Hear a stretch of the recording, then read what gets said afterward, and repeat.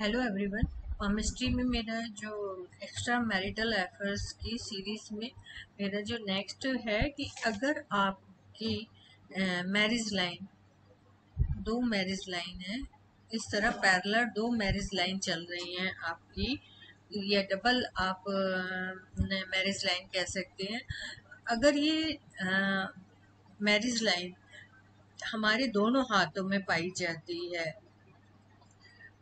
मतलब वैसे तो हम लेडीज़ का लेफ़्ट हैंड और मतलब उल्टा हाथ और जेंट्स का राइट हैंड सीधा हाथ देखते हैं।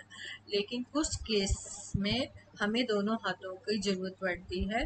तो इस केस में भी अगर आपके दोनों हाथों में डबल मैरिज लाइन है, दोनों पैरलर चलती हुई मतलब एक साथ दोनों चलती हुई लाइनें मैरिज की, आपको आपके हाथ में है तो ये इंडिकेट करती हैं ये कि आपका एक्स्ट्रा मैरिटल अफेयर होगा ही होगा।